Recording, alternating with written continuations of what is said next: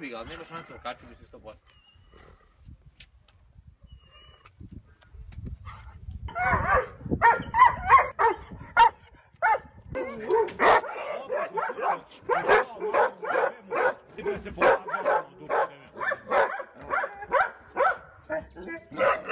Ona zime...